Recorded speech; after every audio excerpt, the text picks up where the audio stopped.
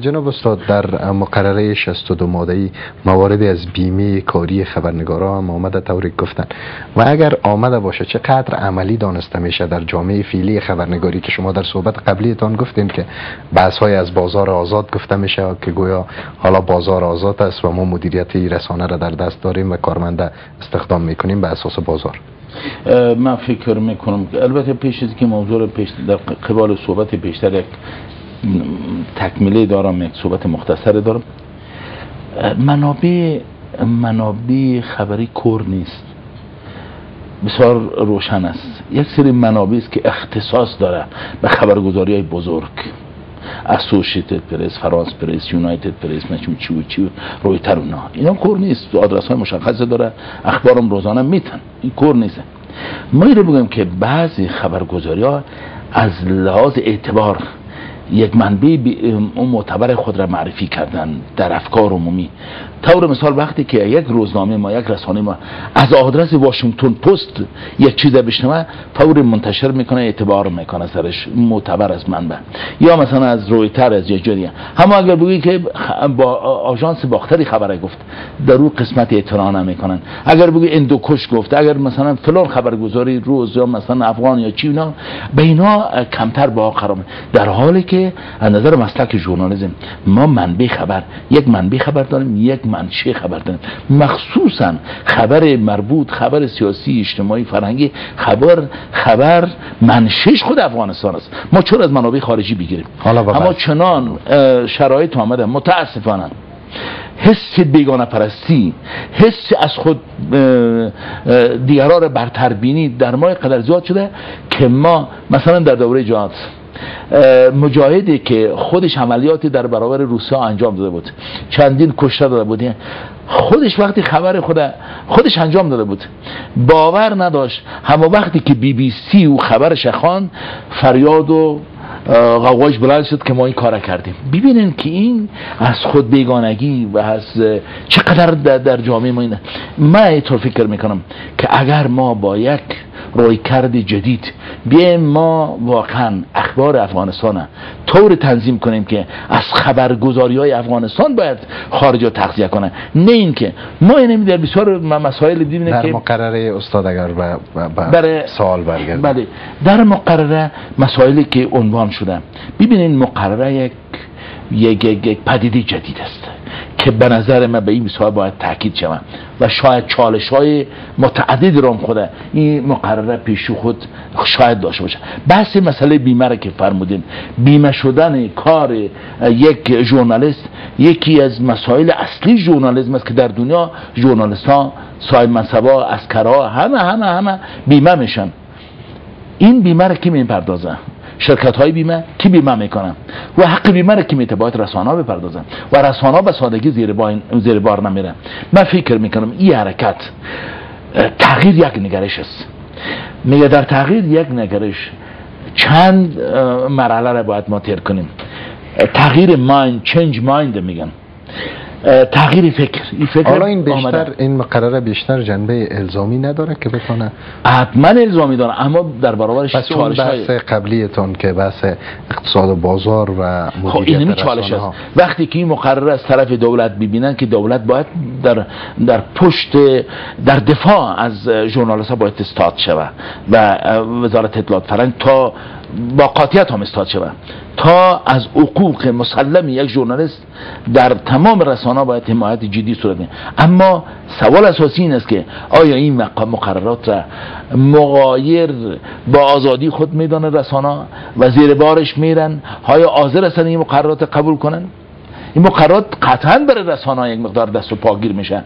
اما برای ژورنالیست ها یک حمایت مسلکی و حرفه‌ای و حمایت درست است. سپاس. اگر این مقرره واقعا اعمال شود آرامش یک ژورنالیست در یک رسانه عدمی خواهد بود سپاس. آقای رادفر با شناختی که شما از رسانه های افغانستان دارین فکر می‌کنین این مقرره عملی باشه؟ به نظر ما ای برمیگرده به ای که دولت افغانستان چقدر خصوصا وزارت اطلاعات فرهنگ افغانستان تا چه حد خودش اعظمی انفعالی که فعلا به او مبتلاس بیرون می‌کنه. طبیعی است که اگر به عنوان وقتی این مقرره ایجاد شده و این با اصول کار در رسانه ها و شرایطی که در رسانه ها حاکم است در به در تضاد باشه ای ممکن است یک مقدار وضعیت را بگونه بکنه که اگر اگر درست مدیریت نشه احتمال از که بحران ایجاد بکنه تا اینکه تا که یک وضعیت بهتر خلق بکنه بیشتر است. به خاطر از اینکه ما وقتی وزارت اطلاعات و فرهنگ افغانستان در ارتباط به بخش زیادی از قضایای دیگه مثلا وزارت اطلاعات فرهنگ افغانستان منتظر میشینه در طول یک سال وقتی که در آخر سال نهادهای مدافع حقوق خبرنگاران گزارش منتشر کرد گفت 39 درصد یا 38 درصد خشونت امسال بالا رفته. باز وزارت اطلاعات فرهنگ میگه که به خاطر از اینکه در وزارت فرهنگ قضایا ثبت نشده ما این گزارش را تایید نمی کنیم در اینجا در ارتباط به ای که این مقرره هم عملی شوه یا نشوه یک بود قضیه برمیگرده امی که فهم شوه مواد این مقرره به رسانه های افغانستان به متولی صاحبان رسانه ها و مدیران رسانه ها و از طرف دیگه خود خبرنگاران به نحوی از آنها بالا به هر صورتی که امکان امکان می داشته باشه به نحوی بسیج شوند در راستای احقاق حقشان. بیشتر از بیمه یاد شد بیشتر. بیمه آنچه که استیفن فرل را معلوماتی که ما بعدا به دست آوردیم نجات داد. حق بیمهش بود که در کشور خودش داشتیم. از حق بیمهش از پولی که در بیمه داشت استفاده کرد و در اوجه ای پول اختیار ارتش انگلستان قرار گرفت و ارتش انگلستان به تناسب امو پولی که مصرف شده بود آمد در اینجا عملیات انجام داد و فرل را آزاد کرد. به دلیل بود به دلیل بیمه استیفن فرل بود که وقتی که سلطان منادی دست بلند گرفت گفت من هم خبرنگار هستم. به پیشانیش به مرمی زدن و یعنی اذعان کردن که نجات سلطان منادی بخشی از مسئولیت ما نیست به خاطر از اینکه استیفن فرل بیمه بود در کشور خودش.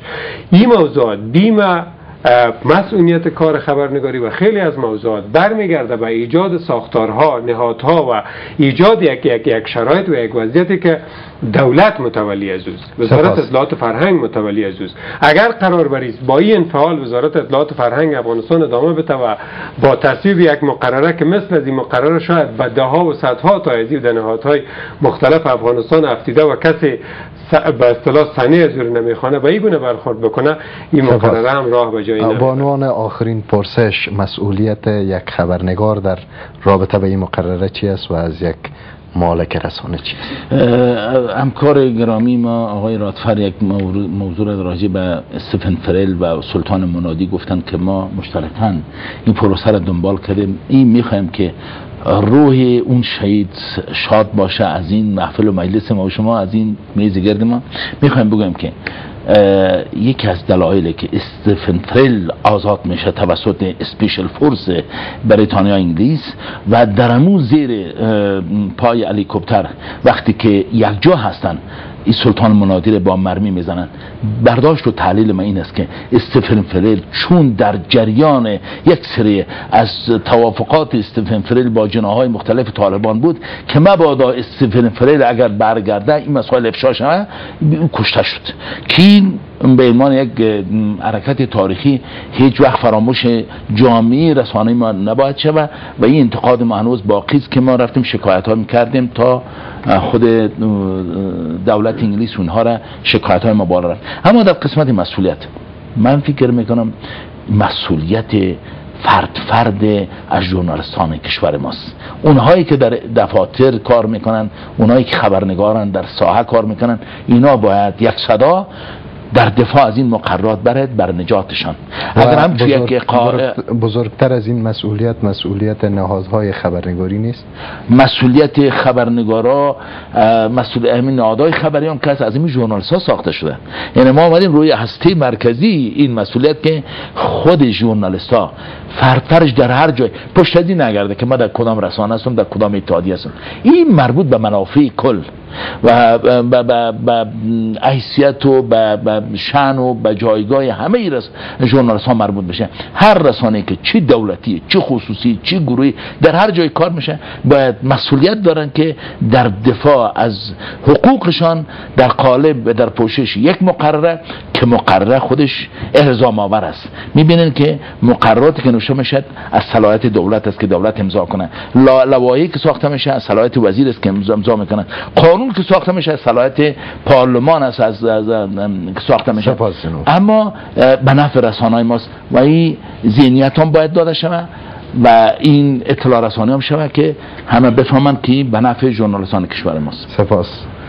آقای رادسر چه مدت زمان نیاز داره تا این مقرره برای بیرون و عملی شو پاس شو مراحل خود البته ما تجربه هم از قانون رسانه ها داریم از قانونی که 53 ماده داشت. اما قسمه که جناب استاد گفت وقتی نام از این مقرره است خب بلند پایگان میشینن و خودشان مثلا وقتی که به شورای وزیران هم باره در اینجا چون دولت طرف نیست بیشتر رسانه های خصوصی طرف هستن من فکر می‌کنم این مقرره زودتر پاس میشه و به عملی میشه. فقط ما در آخر یک چیز می‌خوایم بگویم که عرصه رسانه ها گستردگی ای عرصه و تاثیرگذاری عرصه ایجاب ازیر می‌کنه که دولت افغانستان به عنوان یک کل وزارت اطلاعات و فرهنگ به عنوان متولی مشخصی بخش و نهادهای خبرنگاری هم به عنوان نهادهایی که به هر حال در این عرصه دستن در کار هستند به مراتب بیشتر از این کار بکنن